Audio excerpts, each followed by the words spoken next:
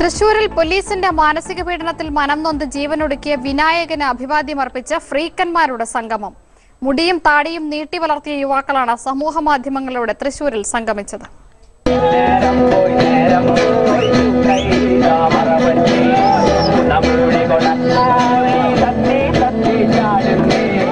മുടി നീട്ടി വളർത്തിയതിന്റെ പേരിൽ പോലീസിന്റെ മാനസികവും ശാരീരികവുമായ പീഡനത്തിനിരയായ തൃശൂർ ഏങ്ങണ്ടിയൂർ സ്വദേശി വിനായകനെ ഓർക്കാനായിരുന്നു ഈ കൂട്ടായ്മ. ഊരാളി എന്ന പേരിൽ സമൂഹ മാധ്യമങ്ങളിലൂടെ ഇവർ സംഘടിച്ചെത്തി. വടക്കുനാഥ ക്ഷേത്ര മൈതാനത്തിന്റെ വിവിധ ആൽത്തറകളിലിരുന്ന് അവർ പാട്ടുപാടിയും പടം വരച്ചും പ്രതിഷേധിച്ചു. ഇടയ്ക്കിടെ ഒറ്റ കാര്യം മാത്രം എടുത്തു പറഞ്ഞു. വിനായകനെ കൊന്നത് നിങ്ങൾ ആരെങ്കിലുമാണോ കൂട്ടായ്മയ്ക്ക് സാക്ഷ്യം വഹിക്കാൻ എഴുത്തുകാരി സാറാ ജോസഫും എത്തിയിരുന്നു.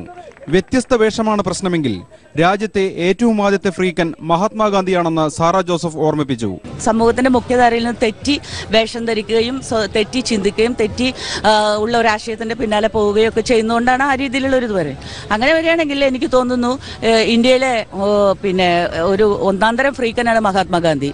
വിനായകനെ അഭിവാദ്യമർപ്പിച്ച് തൃശൂർ ഐ ജി ഓഫീസിലേക്ക് മാർച്ച് നടത്തിയ യുവമോർച്ചക്കാർ പോലീസിനെ സാക്ഷി നിർത്തി പാട്ടുപാടി. മനോരമ ന്യൂസ് തൃശൂർ.